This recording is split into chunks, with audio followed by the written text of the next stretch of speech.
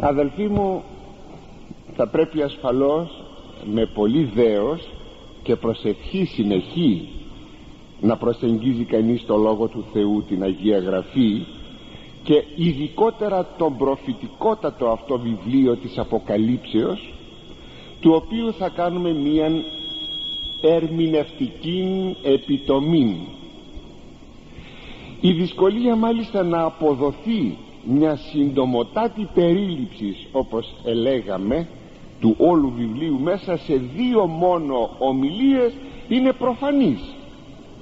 Όμως επικαλούμενη τη βοήθεια του Αγίου Τριαδικού Θεού θα προσπαθήσουμε όση δύναμης να προσφέρουμε δια την οικοδομή της Εκκλησίας του Χριστού. Πριν όμως προχωρήσουμε θα επιθυμούσα να σημειώσω ότι καμία υποκειμενική ερμηνεία δεν θα χρησιμοποιηθεί παρά μόνο ότι είναι κατατεθειμένον εις την ορθόδοξον διδασκαλία της Εκκλησίας μας. Πρέπει ακόμη να τονιστεί ότι ο λαός του Θεού οφείλει να μελετά τούτο το βιβλίο κατά την ρητήν παραγγελία του Κυρίου ο βλέπεις γράψον εις βιβλίων και πέμψον τες επτά εκκλησίες και μη σφραγίσεις τους λόγους της προφητείας του βιβλίου τούτου. Ο καιρός γάρ εγγύσεστην μέσα εις το βιβλίο αυτό θα προσπαθεί ο πιστός να καταμανθάνει τους καιρούς και να αναμένει τον άχρονον, τον αόρατον, τον διημάς ορατών κατά τον Άγιον Ιγνάτιον των Θεοφόρων ο πειρασμός να καθορίζει ο αναγνώστης τους χρόνους εκβάσεως των περιγραφωμένων προφητιών περιορίζεται από τον θεμελιακό όρο ερμηνείας των προφητιών που θέτει ο Άγιος Ειρηναίος. Ασφαλέστερον και ακινδυνότερον το περιμένει την έκβαση της προφητείας ή το καταστοχάζεστε και απομαντεύεστε. Δηλαδή είναι ασφαλέστερο και πιο ακίνδυνο να περιμένει κανείς να πραγματοποιείται η προφητεία παρά να προσπαθεί να απομαντεύσει ε, την ερμηνεία της ε, προφητείας. Και που συμπληρώνει σχετικά ο Άγιος Ανδρέας Κεσαρίας ο χρόνος αποκαλύψει και η πείρα της νύφουσιν ο χρόνος θα αποκαλύψει και η πείρα σε εκείνους οι οποίοι έχουν καθαρή καρδιά. Η Αποκάλυψη είναι το έσκατον βιβλίο της Καινής Διαθήκης αλλά και ολοκλήρου της Αγίας Γραφής αποτελεί την κατακλίδα της και έχει ικανή αντιστοιχεία με το πρώτο βιβλίο την Γένεση με την οποία συνιστά τον άξονα πτώσης σωτηρία. Έτσι αν η Γένεση μας περιγράφει τη δημιουργία του κόσμου του ανθρώπου και την πτώση του η Αποκάλυψη μας περιγράφει προφητικά την πορεία της Εκκλησίας και της δημιουργίας μέσα εις των χρόνων την αναγέννηση του ανθρώπου την αναδημιουργία του κτιστού ορατού κόσμου και την αιωνία των δόξαν. Η Αποκάλυψη περιέχει εν συντομία ολόκληρο το μυστήριο της θείας Οικονομίας από τις ενανθρωπίσεως του Θεού Λόγου όπου η γυνή Θεοτόκος θα το ειδούμε στη συνέχεια με το άρεν πεδίων των Ιησούν καταδιώκεται και της οποίας το άρεν πεδίων αρπάζεται στον ουρανό δηλαδή είναι η ανάληψη του Ιησού Χριστού. Αναφέρεται στην ίδρυση των βιβλίου της Αποκαλύψεως επί της γης της Βασιλείας του Θεού δηλαδή της Εκκλησίας την ιστορική της παρουσία και την παγκοσμία επέκτασή της. Την εξέλιξη της πάλης της με τις αντίθεες δυνάμεις τις έσχατες πληγές που θα επιπέσουν στην αμετανόητη ανθρωπότητα.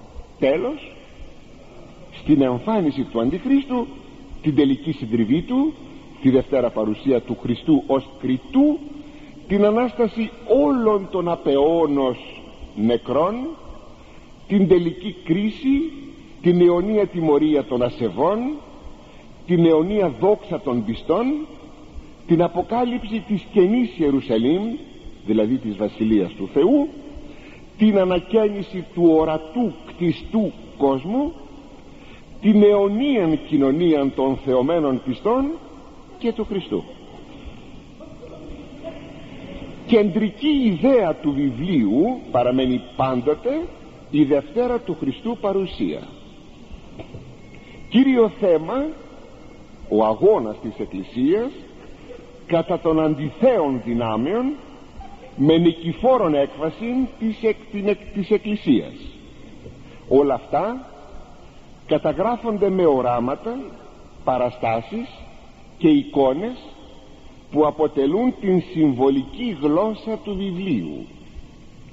Η Αποκάλυψη ως προφητικό βιβλίο αποκαλύπτει όχι μόνο τα μέλλοντα αλλά και τα παρόντα σε σχέση με τον χρόνο καταγραφής της. Ο ίδιος ο Κύριος σημειώνει εις τον Ευαγγελιστή Ιωάννη ο οποίος είναι και ο καταγράψας στην Αποκάλυψη εις την ίσον Πάτμον γράψον ουν αίδες και άισι και αμέλη γίνεστε με τα ταύτα. Γράψε λοιπόν εκείνα τα οποία είδες εκείνα τα οποία υπάρχουν εκείνα τα οποία θα γίνουν με τα ταύτα. Ο σκοπός του βιβλίου είναι η προπαρασκευή των πιστών εν ώψη των επερχομένων θλίψεων και η παρηγορία τους δια την αγαθή έκβαση του αγώνος. Προπαντός όμως η προειδοποίησή τους δια τις αναμενόμενες θλίψεις ώστε να μην σκανδαλιστούν και θεωρήσουν την Εκκλησία ασθενή και ανυπεράσπιστον τον δε Ιησούν ως μη ενδιαφερόμενον δια την Εκκλησία του. Κάτι παρόμοιο συνέβη και με το επικείμενον πάθος του Χριστού όταν οι μαθητές ειδοποιούνται ακριβώς δια να μην σκανδαλιστούν και να εννοήσουν αργότερα ότι το πάθος ή το εκούσιον.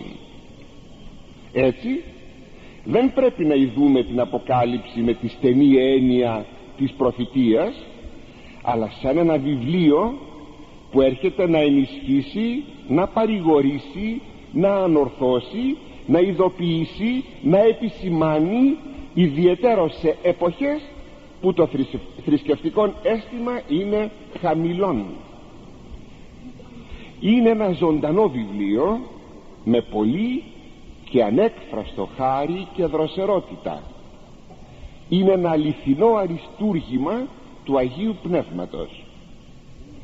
Έχει ενότητα, συμμετρία, ευρυθμία, δύναμη λόγου, πλούτων χρωμάτων και τόνων, ποικιλία θεμάτων, πλαστικότητα, ζωηρότητα, παραστατικότητα. Είναι θεολογικότατον, αφυπνιστικών συνειδήσεων, συναρπαστικών, με σκηνικά τον ουρανό και τη γη και χρόνων ανελήξεως την παγκόσμιον ιστορία και την αιωνιότητα δι' αυτό και αποτελεί λάθος ερμηνευτικό να θέλουμε να ερμηνεύσουμε το κείμενό του με βάση ένα τόπο όπως η Ελλάδα ή η Κωνσταντινούπολης ένα ρεύμα όπως ο μαμεθανισμός ή μια χρονική περίοδος όπως η τεσσάρων αιώνων τουρκική κατοχή ο 20ος αιών κλπ. Όλα βεβαίως αυτά περιέχονται στον οπτικό ορίζοντα του βιβλίου της Αποκαλύψεως αλλά δεν εξαντλείται με αυτά. Ένα ακόμη σημείο πρέπει να αναφερθεί. Πότε αρχίζει το βιβλίο της Αποκαλύψεως να πληρούται; Πρέπει να σημειώσουμε ότι δεν περιορίζεται μόνον στην εποχή του Ιερού Συγγραφέως ούτε στα έσκατα της ιστορίας αλλά αρχίζει από τη στιγμή που συγγράφεται. Κάθε τι που πραγματούται είναι προανάκρουσμα επομένων γεγονότων με τελική έκβαση τα περί την Δευτέραν παρουσίαν του Κυρίου.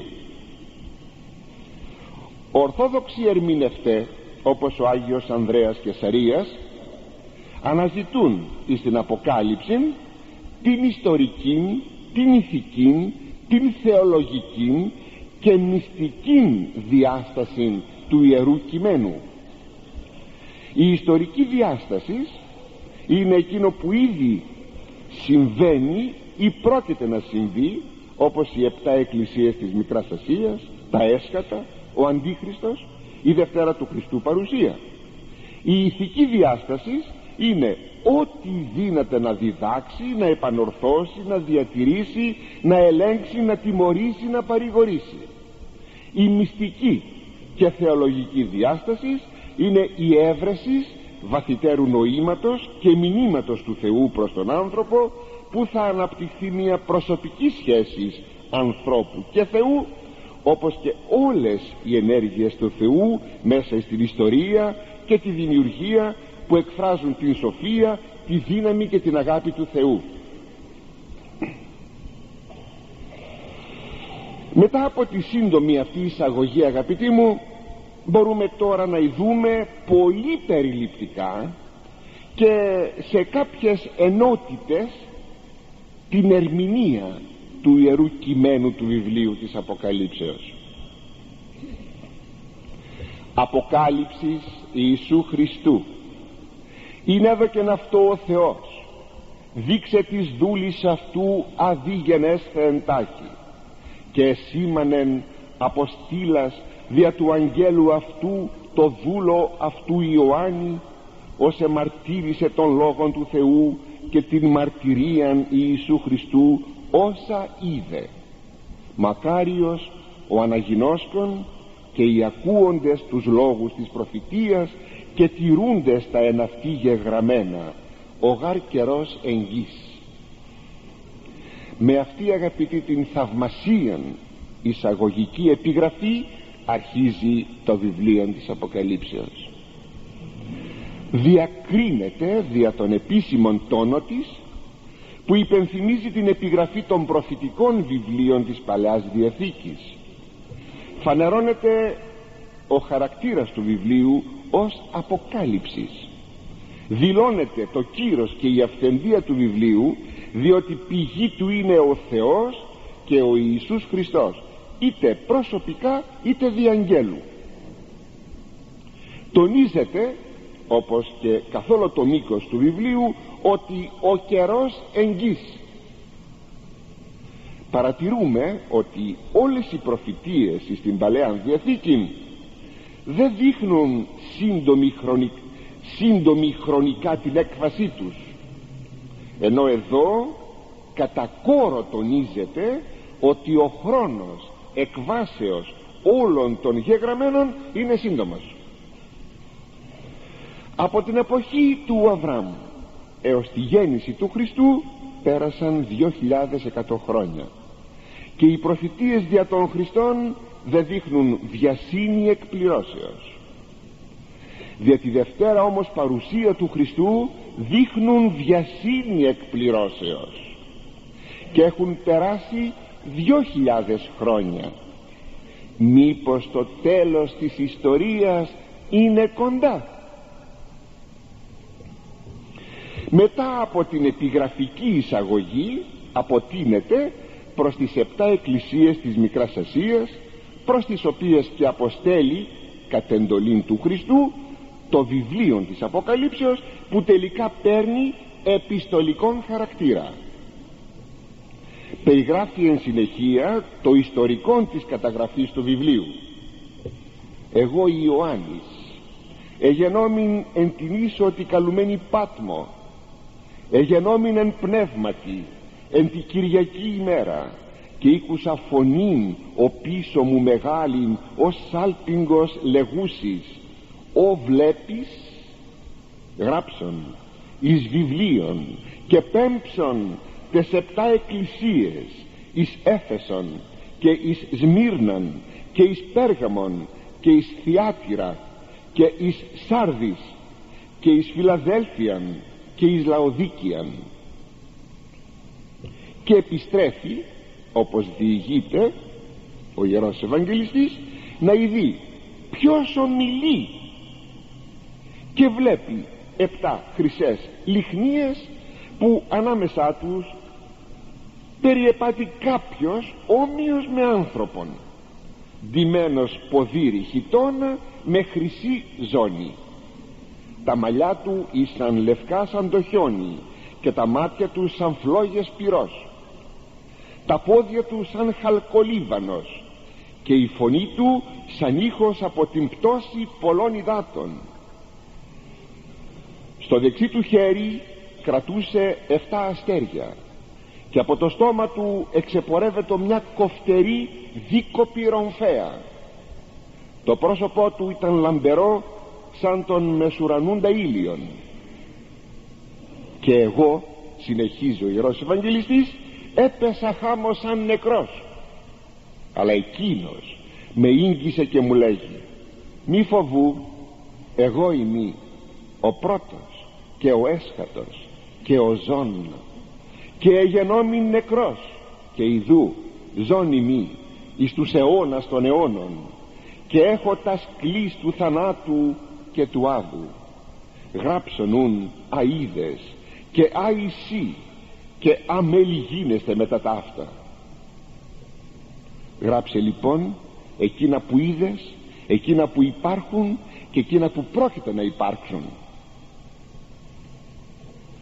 Ποιος λοιπόν ήταν ο αποκαλυπτόμενος ο ενανθρωπίσας Θεός Λόγος τα επτά αστέρια είναι οι επτά τοπικές εκκλησίες της Μικράς Ασίας που προαναφέραμε. Φυσικά επειδή δεν είναι οι μόνες ούτε και οι μεγαλύτερες γι' αυτό υπό των σχηματικών αριθμών 7 νοείται η μία Αγία Καθολική και Αποστολική Εκκλησία προς την οποία στέλνει ο Ιησούς Χριστός επτά επιστολές ή επτά πτυχές που αφορούν εις την Εκκλησία. Οι επιστολές βέβαια ιστορικά ανταποκρίνονται εις τους επτά εκκλησιαστικούς αποδέκτας αλλά το περιεχόμενο επεκτείνεται προς όλη την Εκκλησία. Άξιον ακόμη παρατηρήσεως είναι ότι τα επτά αστέρια που είναι οι επίσκοποι των αντιστοίχων εκκλησιών ευρίσκονται εις το δεξί χέρι του Χριστού. Η εκκλησία του Χριστού δηλαδή είναι στο χέρι του στη δικαιοδοσία του στην πρόνοιά του με όλο το πλήρωμά της λαϊκούς και κληρικούς. Και τίποτα δεν του διαφεύγει. Και τι λέγει ο Κύριος τον Ιωάννη; Το αγγέλο της ενεφέσου εκκλησίας γράψον. Με τον ίδιο τύπο θα αποταθεί ο Κύριος και προς τις επτά εκκλησίες. Μπορούμε να υπογραμμίσουμε με πολύ συντομία ένα κεντρικό σημείο από την κάθε επιστολή. Η περίπτωση όπως είπαμε μας ενδιαφέρει άμεσα διότι ο Κύριος αποτείνεται προς τους πιστούς της Εκκλησίας της κάθε εποχής. Και συνεπώς και προς την εποχή μας. Πρώτον η Εκκλησία της Εφέσου. Ο Κύριος επενεί την Εκκλησία αυτή διότι απεδοκίμασε τους ψευδαποστόλους Ιουδαΐζοντας ερετικούς όπως και τους Νικολαΐτας όμως κατά την προσπάθεια κατά των ερετικών ιτώνησε κάπως η αγάπη της προς τον Ιησούν Χριστόν. Και τη σημειώνει ο Κύριος. Αλλά έχω κατά σου έχω ένα παράπονο ότι την αγάπη σου την πρώτη αφήκας. Άφησες την πρώτη σου αγάπη. Το παράπονο του Ιησού είναι ότι ο ενθουσιασμός η πύρωση της καρδιάς η αφοσίωση η λατρεία έχουν υποτονιστεί. Η αγάπη δεν νοείται ως εξαντλουμένη στην Ορθοδοξία αλλά και που είναι εναντίον των ερετικών ο αγώνας αλλά και στην ορθοπραξία και στην ιδιαίτερα αγαπητική ανάβαση της καρδιάς προς τον Θεό. Δεύτερον η εκκλησία της Μύρνης. Η εκκλησία αυτή επενείται εξ ολοκλήρου. Δεν υπάρχει κανένα ψεγάδι. Είδα σου τα έργα και την θλίψη και την πτωχίαν αλλά πλούσιος ή. Είδα γνωρίζω τα έργα σου και τη θλίψη σου και την πτωχία σου αλλά είσαι πλούσιος. Διαγράφεται ένα τρίπτυχον χριστιανικής πορείας. Τα έργα ως δράσεις ποιμαντική και ως έργα αγάπης και φιλανθρωπίας. Οι θλίψεις ως στοιχείων γνησιότητος που φανερώνει τις δυσκολίες των αντιθέων και κοσμικών δυνάμεων που πολεμούν την Εκκλησία και την θλίβουν ποικιλοτρόπως. Και η πτωχία ως σπουδαίο αγαθόν που δείχνει την κατανόηση του Ευαγγελικού Πνεύματος και που αποτελεί και αυτή στοιχείων γνησιότητος του Ευαγγελίου. Τέλος διαγράφεται μελλοντικός διωγμός δια τον οποίο ο Κύριος συμβουλεύει. Μηδέν φοβού αμέλης παθήν και χίνου πιστός άχρη θανάτου μη φοβάσαι. Για ό,τι πρόκειται να πάθεις μην είναι πιστός μέχρι τον θάνατο μου. Ο διωγμός είναι ο κλήρος της Εκκλησίας στον κόσμο Εκκλησία διωκομένη είναι απόδειξης ότι ευρίσκεται εις ορθήν οδόν και έχει χάρη πολύ από το Θεό. Εκκλησία μη διωκομένη και που συμμαχεί με τον κόσμο έχει αποδοκιμαστεί από τον Χριστόν. Τρίτον η εκκλησία της Περγάμου η πόλη της Περγάμου ονομάζεται υπό του Κυρίου θρόνος του σατανά. Η πόλη, όχι η εκκλησία η πόλη. όμως η εκκλησία της Περγάμου έδειξε αντίσταση εις την επικρατούσαν ειδωλολατρίαν έχοντας και εις το ενεργητικό της το μαρτύριο του επισκόπου της Αντίπα. Υπάρχουν όμως και τα παράπονα του Ιησού. Έχεις κρατούντας την διδαχή των Νικολαϊτών. Οι Νικολαΐτε ήσαν γνωστικίζοντες αιρετικοί και θεωρούνται ως αντινομιστέ ότι θα λέγαμε σήμερα αναρχικοί. Εν ονόματι δίθεν της χριστιανικής ελευθερίας είχαν ελαστικές αντιλήψεις περί πίστεως και σαρκικών αμαρτημάτων. Αρχή των ήτο παραχρήστε τη σαρκή δι. Πρέπει να καταστρέψουμε την σάρκα όπως σήμερα με τα ναρκωτικά κλπ. Μα πολλοί σήμερα χριστιανοί μας έχουν μακρινούς των προγόνους τους Νικολαΐτας με το να έχουν χαλαρή αντίληψη περί της ηθικής και μάλιστα επί των σαρκικών αμαρτημάτων. Τέταρτον η εκκλησία των θειατήρων επενείται η αγάπη και η πίστη και η διακονία και η υπομονή της εκκλησίας αυτής. Ηνύχεται όμως μίαν ψευδοπροφήτη με το συμβολικό όνομα Ιεζάβελ. Αυτή το χριστιανή πλανεμένη που υπηρετούσε των προφητισμών δηλαδή δαιμονικές προφητείες.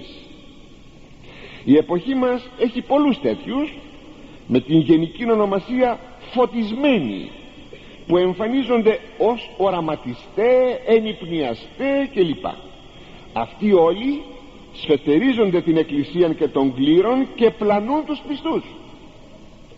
Εύκολα δεν γίνονται αντιληπτοί διότι δείχνουν υπερβάλλοντα ζήλων πίστεως αλλά στην πραγματικότητα είναι κύβδηλοι και αποδοκιμάζονται από τον Χριστόν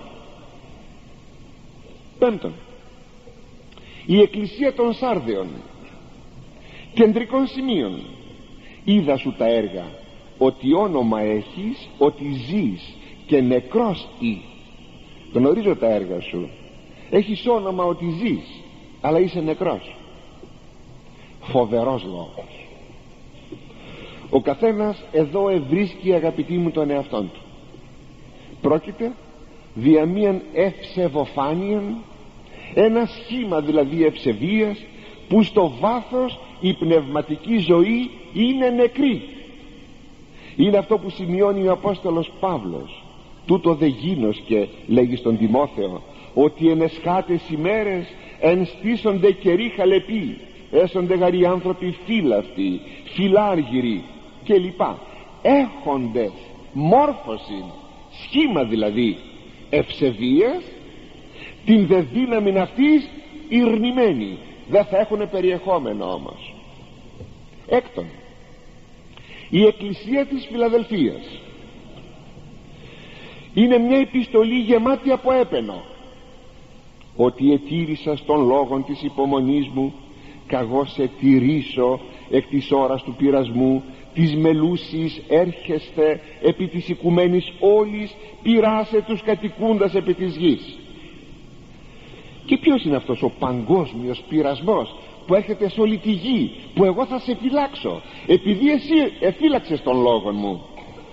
Θα είναι ο πειρασμός της πίστεως και του ηθικού βίου που θα ανοίξουν το δρόμο στον Αντίχριστο.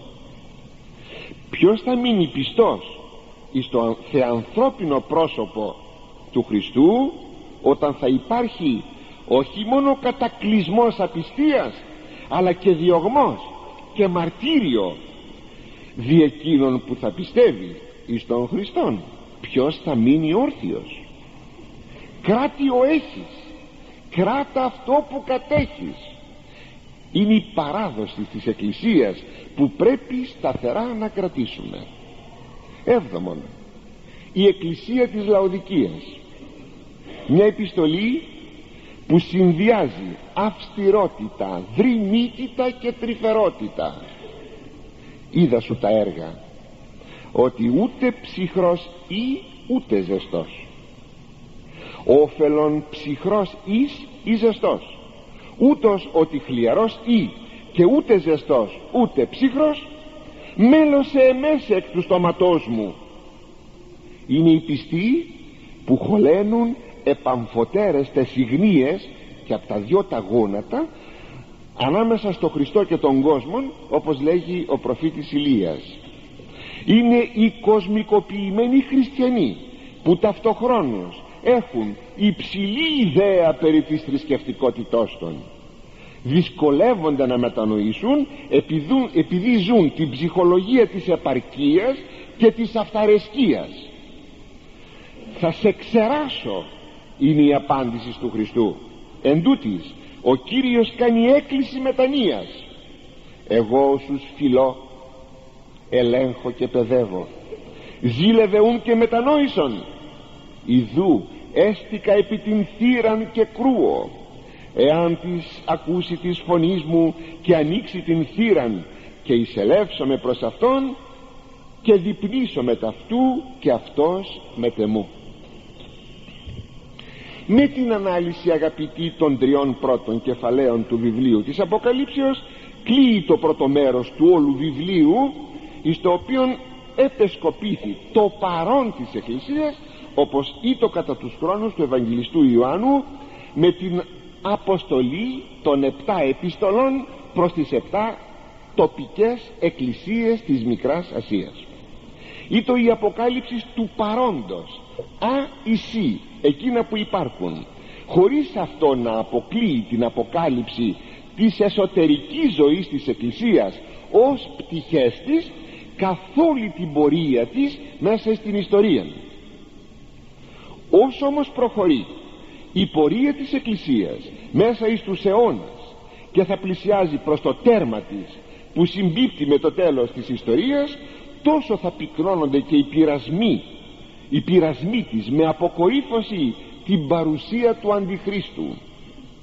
Έτσι η Εκκλησία αποδίεται σε αγώνες που περιγράφονται μεταξύ των κεφαλαίων 4,1 στίχος έως 19 κεφάλαιων στίχος 10 είναι όλα αυτά αδιγενέστε μετά ταύτα.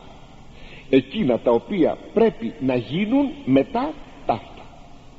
Ο σκοπός που θα εκτεθούν οι μελλοντικοί αγώνες της Εκκλησίας είναι να προετοιμάσει τους πιστούς η Εκκλησία σε τούτο να τους παραμυθίσει να τους βοηθήσει να μην σκανδαλιστούν και να μην κοσμικοποιηθούν.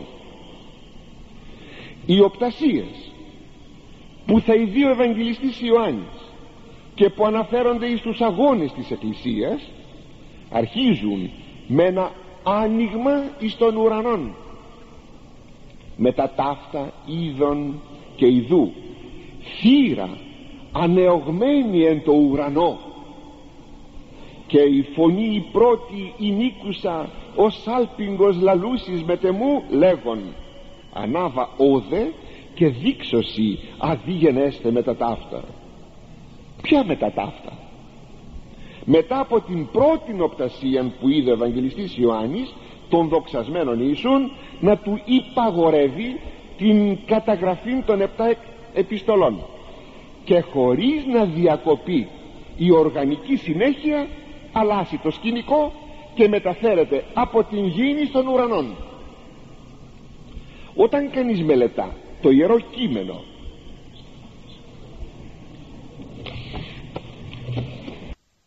αίσθηση του ανοιχτού χώρου που ό,τι διαδραματίζεται ευρίσκεται άλλοτε επί της γης άλλοτε στον ουρανόν και άλλοτε μεταξύ γης και ουρανού μία θύρα ανοιγμένη στον ουρανό. Τούτο σημαίνει τη φανέρωση των κρυπτών μυστηρίων του Αγίου Πνεύματος. Και ιδού θρόνος έκειτο εν το ουρανό και επί των θρόνων καθήμενος. Ο θρόνος είναι το σύμβολο της δόξης του Θεού και ο καθήμενος είναι ο Θεός που το όνομά του αποφεύγεται να υποθεί αλλά γίνεται μια ζωντανή συμβολική περιγραφή. Μοιάζει με τον Ίασπη και γύρω από τον θρόνον μια ήρης που έμοιαζε με σμαράγδια. Γύρω από το θρόνο 24 άλλοι θρόνοι που εκάθεντο 24 πρεσβύτεροι φορεμένοι στα λευκά και με χρυσά στεφάνια στα κεφάλια τους. Είναι η κοινωνία του Θεού μετά των κτισμάτων του τους ανθρώπους και τους αγγέλους.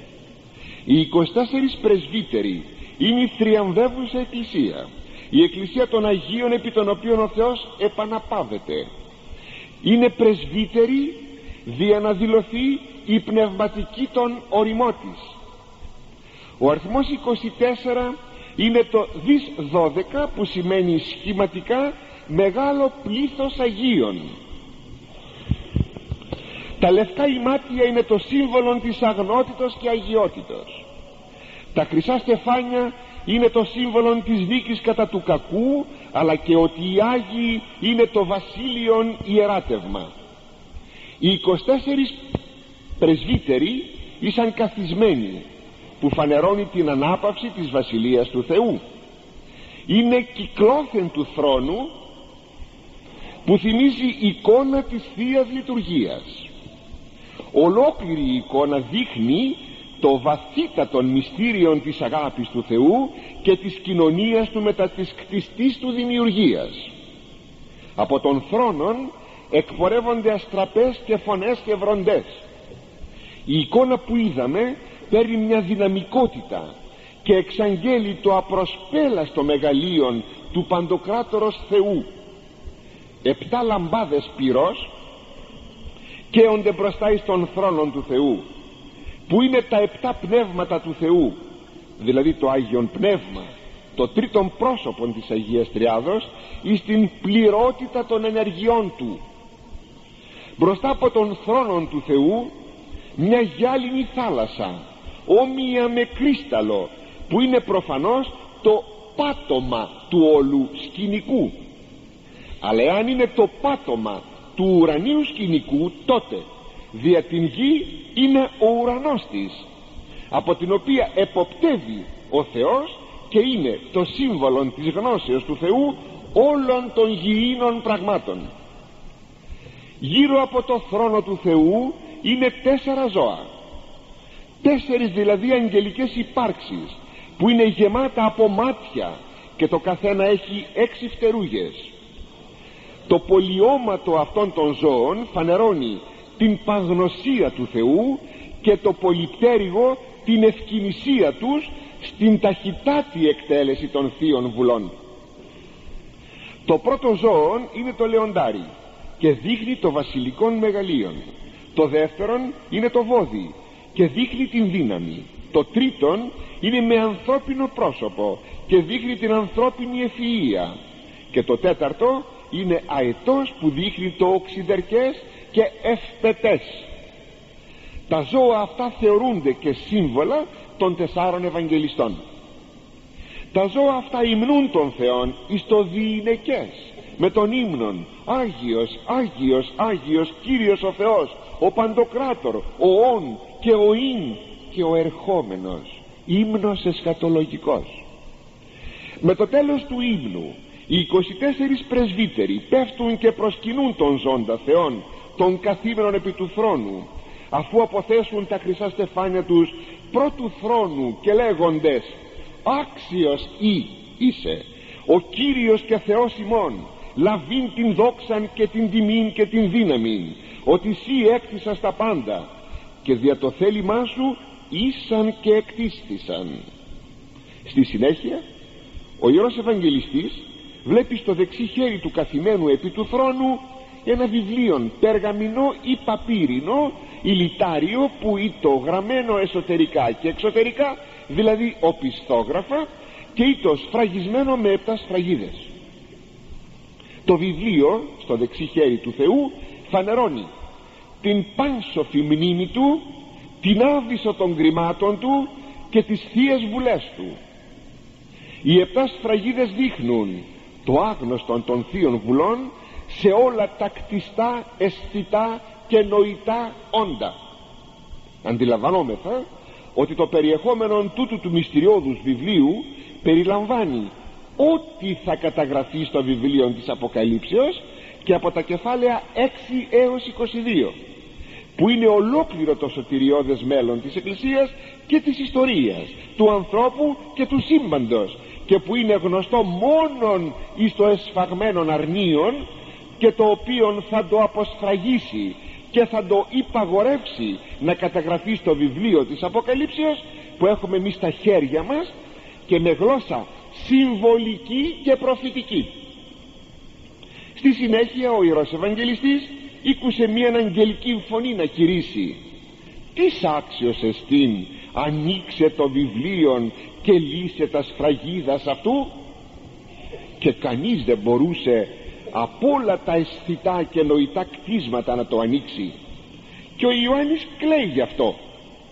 Ένας όμως πρεσβύτερος τον καθησυχάζει ότι βρέθηκε εκείνος που θα το ανοίξει τούτο το μυστηριώδες βιβλίο είναι ο Λέων ο εκ της φυλής Ιούδα η ρίζα Δαβίδ είναι ο Μεσσίας Ιησούς ο ιστορικός Ιησούς ο ενανθρωπής Υιός και Λόγος του Θεού που υπερίσχυσε δια του απολυτρωτικού του έργου δια να ανοίξει το βιβλίο και πράγματι και είδον συνεχίζει ο Ιωάννης εν μέσω του θρόνου των τεσσάρων ζώων και εν μέσω των πρεσβυτέρων αρνίων, εστικός ως εσφαγμένων έχουν κέρατα επτά και οφθαλμούς επτά. Εις την όλη αυτή οπτασιακή εικόνα εφ' το εσφαγμένον και εστικός αρνίων το οποίο είναι ο παθόν διημάς εν ανθρωπίσας Θεός Λόγος θα έχει την κεντρική θέση εις το όλο βιβλίο της Αποκαλύψεως. Εφ' η θεολογία του Σταυρού των Ευαγγελίων αντικαθίσταται με τη θεολογία του εσφαγμένου αρνίου που φυσικά είναι η ιδία θεολογία με διαφορετική εικόνα. Έτσι με την εικόνα του αρνίου συμπληρώνεται και η όλη οπτασιακή εικόνα. Ο πατήρ επί του θρόνου το πνεύμα το Άγιον με τις επτά κεόμενες λαμπάδες και ο Υιός ως αρνίον. Είναι όλη η Αγία Τριάς όπως εμφανίζεται και στα Ευαγγέλια και που εργάζεται το μυστήριο της θείας Οικονομίας. Τα επτά κέρατα του αρνίου δείχνουν το πλήρωμα της βασιλικής εξουσίας και δυνάμεώς του. Οι επτά οφθαλμοί δείχνουν την παγνωσία του Ιού αλλά και τα επτά πνεύματα λαμπάδες που δείχνουν ότι ο Υιός αποστέλει το πνεύμα το Άγιον εις τον κόσμο όπως και ο Πατήρ. Όταν δε έλθει ο Παράκλητος ον εγώ πέμψω ημίν παρά του πατρός το πνεύμα της αληθείας ο παρά του πατρός εκπορεύεται παραθέτει ο Χριστός εις το κατά Ιωάννη Ευαγγέλιον. Και συνεχίζει ο Ιερός Ευαγγελιστής στην οπτασιακή του περιγραφή και είδα γράφει το αρνίον να λαμβάνει από τη δεξιά του καθημένου επί του θρόνου το βιβλίον. Και όταν το έλαβε τα τέσσερα ζώα και οι 24 πρεσβύτεροι έπεσαν και τον προσκύνησαν με ύμνους και θυμιάματα. Αυτό δείχνει ότι τόσο ο αγγελικός κόσμος όσο και ο κόσμος των ανθρώπων προσκυνούν την ανθρωπίνη φύση του Χριστού λατρευτικά όπως και την Θεία φύση το γεγονός της παραλαβής του βιβλίου θεωρείται κόσμο ιστορικό γεγονός δι' αυτό και προκαλεί την δοξολογία των αγγέλων και των Αγίων. Μετά την δοξολογία των μυριάδων των Αγίων Αγγέλων και των τεσσάρων ζώων και των 24 πρεσβυτέρων και όλων των κτισμάτων εις των ουρανών και εις την γη και υποκάτω της γης ακροτελεύτια να λέγουν άξιον εστί το αρνίον το εσφαγμένον λαβήν την δύναμη και τον πλούτον και σοφίαν και ισχύν και τιμήν και δόξαν και ευλογίαν. Και βρισκόμεθα αγαπητοί εις το έκτον κεφάλαιο ο Αγίος Ιωάννης βλέπει στην συνέχεια το άνοιγμα των επτά σφραγίδων. Πριν όμως προχωρήσουμε στην ανάλυση τους θα πρέπει να σημειώσουμε ότι μετά το άνοιγμα και των επτά σφραγίδων που αντιστοιχούν σε επτά αποκαλυπτικές εικόνες έρχεται μία νέα επτάδα οπτασιακών εικόνων που ανοίγουν με το σάλπισμα επτά αγγέλων μετά και από αυτήν την επτάδα έρχεται μία τρίτη επτάδα που αναφέρεται πάλι σε οπτασιακές εικόνες με χαρακτηριστικό την έκχυση αντιστοίχως επτά φιελών μέσα σε αυτές τις τρεις επτάδες σύνολων 21 εικόνων έχουμε οπτασιακές πτυχές της πορείας της Εκκλησίας και της ιστορίας. Και τώρα τίθεται το ερώτημα. Κατά τη διάρκεια εκθέσεώς των πως πρέπει να εννοηθούν χρονικά; Η μία δηλαδή επτάδα οραμάτων καλύπτει μια σειρά γεγονότων με το τέλος των οποίων αρχίζει νέα σειρά οραμάτων γεγονότων ποια δηλαδή είναι η χρονική σχέση αυτών των τριών επτάδων αποκαλύψεων; Έχουν διατυπωθεί δύο αντιλήψεις περί χρονικής σχέσεως των τριών επτάδων οραμάτων. Η πρώτη θεωρία δέχεται την κατά παραλλήλους κύκλους επανάληψη των αυτών πραγμάτων και ιδεών ή γεγονότων στις επταδικές εικόνες των αλλεπαλλήλων οράσεων και καλείται θεωρία της επαναλήψεως ή ανακεφαλαιώσεως ή κυκλική θεωρία. Όταν δηλαδή πληρωθούν τα γεγονότα. Των επτά σφραγίδων αρχίζει η πλήρωση των επτά σαλπίγκων. Όταν πληρωθούν και αυτές αρχίζει η πλήρωση των επτά φιαλών. Όταν και αυτές πληρωθούν αρχίζει πάλι ο κύκλος των επτά σφραγίδων. Και ούτω καθεξής. Διαρκής επαναλήψεις. Έχουμε δηλαδή τρεις παραλλήλους κύκλους πληρώσεως επταδικών γεγονότων που διαρκώς πληρούνται έως τη συντελεία των αιώνων με πύκνωση προς τα έσχατα. Τυπική περίπτωση παράδειγμα. Παιδεία εσχάτη ώρα εστί λέγει στην πρώτη επιστολή του Απόστολος Ευαγγελιστής Ιωάννης. Και καθώς ακούσατε ότι ο Αντίχριστος έρχεται και νυν Αντίχριστη πολύ γεγόναση όθεν γινώσκομεν ότι η ώρα εσχάτη ώρα εστί. Δηλαδή η εσχάτη ώρα είναι κάθε στιγμή όπου και εμφανίζονται αντίχριστοι. Αυτοί θα συνεχίσουν να εμφανίζονται έως ότου έλθει η όντως εσχάτη ώρα με τον όντως αντίχριστον που οι προηγούμενοι του υπήρξαν απλώς πρόδρομοι του. Έτσι έχουμε επανάληψη του φαινομένου αντίχριστη με πύκνωση στα έσχατα που θα είναι ο καθαυτό αντίχριστος η δευτέρα μέθοδος αποδέχεται την ευθύγραμμον χρονολογική ή περιοδική πρόοδο των συμβολιζομένων στις επιμέρους οράσεις γεγονότων και καλείται χρονολογική θεωρία. Όταν δηλαδή πληρωθούν τα γεγονότα της πρώτης επτάδος προχωρούμε στα γεγονότα της επομένης επτάδος έως ότου φτάσουμε εις τα έσχατα χωρίς επανάληψη των γεγονότων. Παράδειγμα λέγει ο Χριστός Ματθαίος 24,29 29. Ευθύς δε μετά την θλίψη των ημερών εκείνων ο ήλιος σκοτισθήσεται και η σελήνη ου δώσει το φέγγος αυτής. Αυτό δεν μπορεί να επαναλαμβάνεται αυτό θα συμβεί μόνο μία φορά. Συνεπώς πληρεί την χρονολογική θεωρία εδώ πρόκειται όπως βλέπουμε περί ευθυγράμμου θέσεως των γεγονότων. Εν τούτης, οι καλύτεροι ερμηνευτές παλαιοί και νεότεροι δέχονται την πρώτη θεωρία χωρίς να αποκλείουν και τη δευτέραν. Δέχονται δηλαδή ότι μια προφητεία όπως και των παλαιών προφητών δεν εξαντλείται σε μια χρονική στιγμή αλλά συνηφαίνεται με το άμεσον, το προσεχές και το απότατον μέλλον. Μία προφητεία επαναλαμβάνεται και ταυτοχρόνως προχωρεί οι δύο αυτές μέθοδοι μπορούν να παρασταθούν.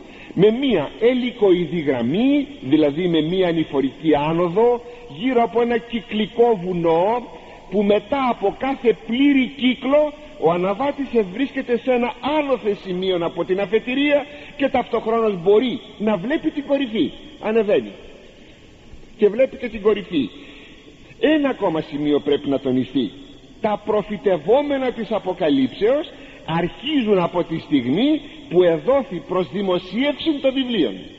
Από το τέλος δηλαδή του πρώτου αιώνας.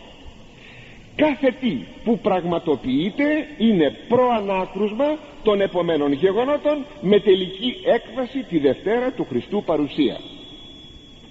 Και τώρα ερχόμεθα να ειδούμε την αποσφράγιση του μυστηριώδους εκείνου βιβλίου το αρνίον αποσφραγίζει την πρώτη σφραγίδα και ο Άγιος Ιωάννης βλέπει ύπων λευκών και ο καθήμενος επ' αυτόν είχε τόξον και στεφάνι στο κεφάλι σύμβολα νίκης, εξουσίας και βασιλείας. Ο καθήμενος είναι ο Χριστός ή υπό τον Χριστόν το Ευαγγέλιο ο χριστιανισμός που εξαγγέλλεται εις τα έθνη διαστόματος των Αποστόλων. Είναι η ανατολή του χριστιανισμού και εξήλθε νικών και ή να νικήσει. Αξίζει να εφαρμόσουμε εδώ τις ήδη αναφερθήσεις μεθόδους ερμηνείας. Για παράδειγμα η σφραγίδα η πρώτη εκφράζει το κήρυγμα του Ευαγγελίου στον κόσμο.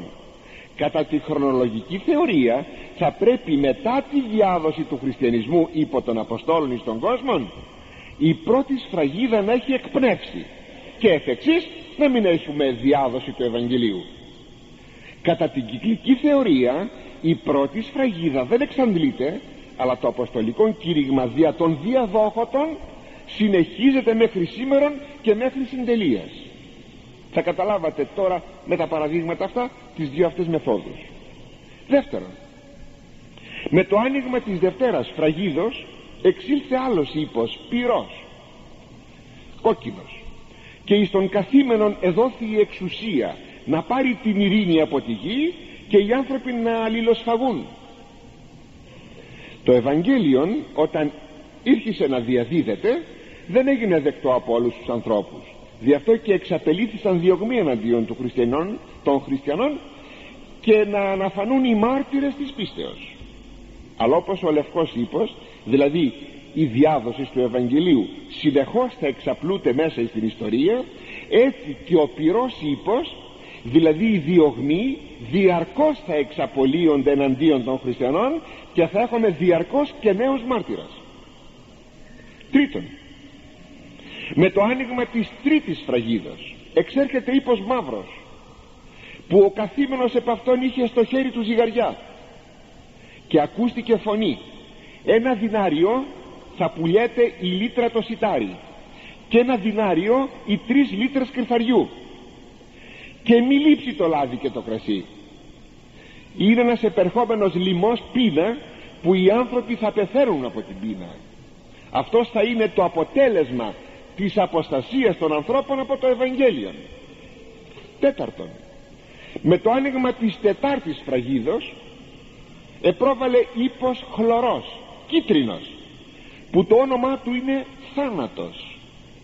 Ο Άδης τον ακολουθούσε και πήρε την εξουσία να φωνεύσει το τέταρτον του πληθυσμού της γης με πολέμους, αρρώστιες, πείνα και άγρια θηρία.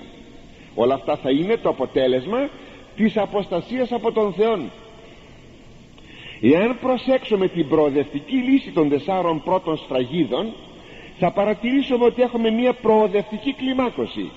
Την εξάπλωση του Ευαγγελίου τον διωγμό του την τιμωρία των διωκτών με πείνα με αρρώστιες και με πολέμους.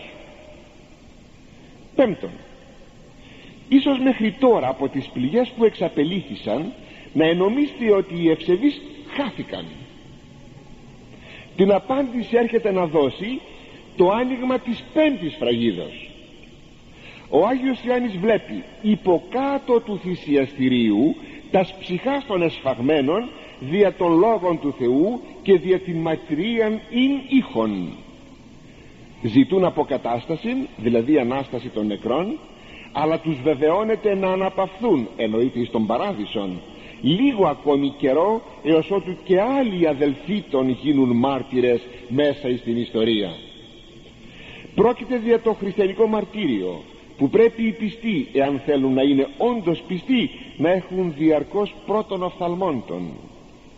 Το χωρίον αυτό είναι ένα ισχυρό σημείο υπέρ της ζωής των ψυχών και της παραμονής των εις των παράδεισων που εδώ τοποθετείται κάτω από το θυσιαστήριο του Θεού. Έκτον και ερχόμεθα εις την έκτη σφραγίδα που είναι πολύ εκτενής. Διαιρείται σε τρία μέρη εκ των οποίων το πρώτο αναφέρεται εις την Ανάσταση του σύμπαν συγγνώμη εις την Αναστάτωση του σύμπαντος και τα δύο τελευταία είναι διαψάλματα το πρώτο μέρος περιγράφει ότι με το άνοιγμα της φραγίδος έγινε μέγας σεισμός. Ο ήλιος εσκοτίνιασε και η σελήνη έγινε κόκκινη σαν αίμα. Τα αστέρια του ουρανού έπεσαν και ο ουρανός εχωρίστη σαν βιβλίο ηλιτάριο στα δυο. Στη γη επάνω σημειώθησαν μεγάλες μετατοπίσεις και γεωλογικές μεταβολές. Οι άνθρωποι εκρύβησαν στις οπές της γης με φόβο πολύ μεγάλο. Εδώ θα εφαρμόσουμε το, την ευθύγραμμο μέθοδο που χρησιμοποιεί ο Κύριος στα Ευαγγέλια.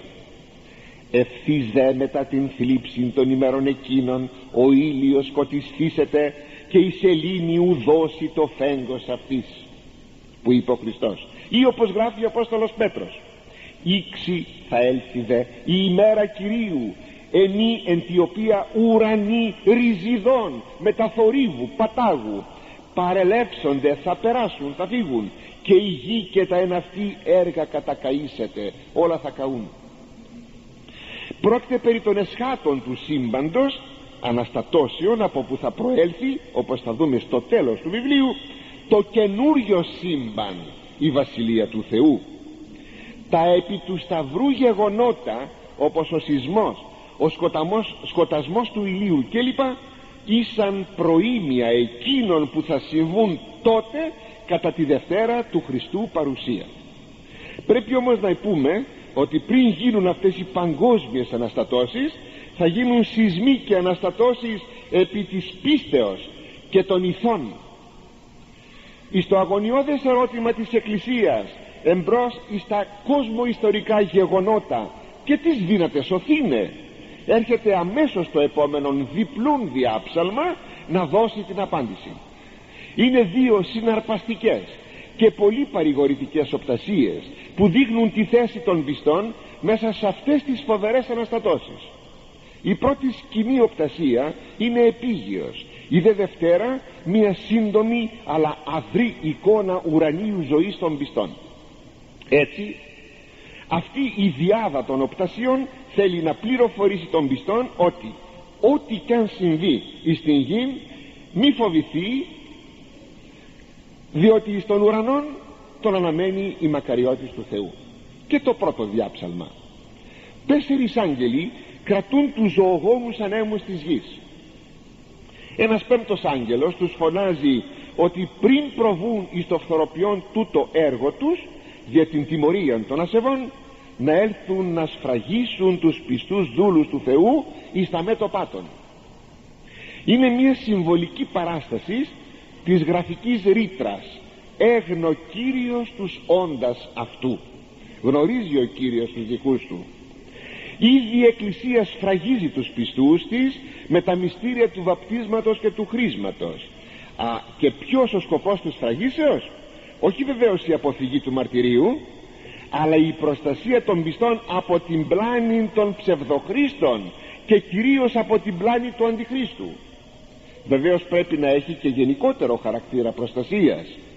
Ο Χριστός λέγει ότι οι μη εκολοβόθησαν ημέρα εκείνε ούκανε σώθη πάσα σάρξ. Δια δε τους εκλεκτούς κολοβοθήσονται ημέρα εκείνε αυτή η σφράγιση έχει ιδιότυπον χαρακτήρα ανάλογα με την περίπτωση και την εποχή μία προφητική σφράγιση έχουμε στον προφήτη Ιεζεχήλ 8 και 9 κεφάλαια. Μια ιστορική σφράγιση έχουμε κατά την καταστροφή της Ιερουσαλήμ υπό του Βεσπασιανού και Τίτου το 70 μετά Χριστόν. Οι χριστιανοί ενεθυμήθησαν τους σχετικούς λόγους του Κυρίου και αφού απεχώρησαν από την πόλη εσώθησαν η σφράγιση των πιστών κατά τις έσχατες ημέρες δεν γνωρίζουμε τι μορφή θα έχει αλλά τότε ο Θεός θα την αποκαλύψει δια της Εκκλησίας Του. Και ο Ιερός Ευαγγελιστής ακούει τον αριθμό των εσφραγισμένων. Είναι 144.000 από τις 12 φυλές του Ισραήλ. Δεν είναι ακριβής αριθμός αλλά συμβολικός και πρόκειται δια τον καταπνεύμα νέων Ισραήλ δηλαδή χριστιανοί και εξ Ιουδαίων εξ εθνών και εξ, δηλαδή και εξ Ιουδαίων και εξ εθνών το δεύτερο διάψαλμα το οποίο συμβαίνει κατά τη λύση της έκτης φραγίδας. Εδώ φαίνεται η λειτουργία της θριαμβευώσης εκκλησίας. Είναι μια σκηνή που δείχνει ποιο το μέλλον των πιστών που θα σφραγιστούν επί της γης. Το διάψαλμα αυτό αποτελεί μία εκ των ωραιότερων σελίδων της Αγίας Γραφής και το αποκορύφημα του βιβλίου της Αποκαλύψεως. Και ειδού όχλος πολλής ο να ρυθμίσει αυτόν ουδής εδύνατο από κάθε λαό και γλώσσα και φυλή όλων των αιώνων και όλων των εποχών. Όλοι αυτοί προέρχονται από τη θλίψη τη μεγάλη και ελέσκαναν τα ημάτια τους εις το αίμα του αρνίου στο μαρτύριο. Δηλαδή έγιναν μάρτυρες Χριστού. Δι' αυτό και για αυτούς δεν υπάρχει δάκρυ και πόνος πείνα και δίψα και ταλαιπωρία. Παντοτινά βρίσκονται ενώπιον του θρόνου του Θεού και τον λατρεύουν εις το διηλεκές έκτον. Και ερχόμεθα εις τη λύση της εβδόμης σφραγίδος έβδομον συγγνώμη. Με το άνοιγμά της γίνεται σιγή ως σημείωρον εις των ουρανών και κατόπιν εμφανίζονται επτά άγγελοι με επτά σάλπιγγες που η παρουσία τους ανοίγει μια καινούργια επτάδα πληγών η πλήρωση της Δευτέρας Επτάδος δεν είναι χρονική επέκταση της πρώτης όπως λέγαμε αλλά απλώς λεπτομερέστερες πτυχές της πρώτης Επτάδος η οποία εξετέθη διαγραμματικά ενώ τώρα έχουμε μία λεπτομεριακότητα περιπλοκότητα δυσληπτότητα και φοβερότητα των εικόνων. Πρώτος σάλπισμα υπό του πρώτου αγγέλου. Χαλάζει. Φωτιά και αίμα έπεσε στη γη και το τρίτο της γης κατεκάει όπως και το τρίτο του φυτικού βασιλείου. Η πληγή αυτή θυμίζει την πρώτη και εβδόμη πληγή του Φαραώ που εκείνες οι παλιές φαραωνικές πληγές υπήρξαν ιστορικοί τύποι των πληγών των εσχάτων. Η τιμωρία των Σοδόμων υπήρξε και αυτή τύπος ιστορικός αυτής της εσχατολογικής πληγής. Το καταπληκτικό είναι ότι οι ιστορικοί τύποι δεν αφήνουν περιθώρια δια μίαν αλληγορική ερμηνεία δεύτερο σάλπισμα. Ένα αντικείμενο σαν βουνό φλεγόμενο έπεσε στην θάλασσα και το τρίτο των ψαριών απέθανε. Αφού το νερό της θαλάσσης έγινε σαν αίμα κόκκινο. Το ίδιο συνέβη και με το τρίτο των πλοίων. Οι παλαιοί εκκλησιαστικοί ερμηνευτέ ήταν αδύνατο να φανταστούν τις επιτεύξεις του τεχνικού πολιτισμού που θα μπορούσε να στραφεί εναντίον του ιδίου του ανθρώπου. Εδώ ισχύει το του Αγίου Ανδρέου Κεσαρίας. Ο χρόνος αποκαλύψει και η πείρα της λύφουση σήμερα μία ραδιενεργός μόλυνσης από την έκρηξη μιας πυρηνικής βόμβας είναι ικανή να επιφέρει τέτοια καταστροφή όπως προβλέπεται από την προφητεία. Αλλά αγαπητοί μου θα συνεχίσουμε πρώτα Θεός την ερχομένη Κυριακή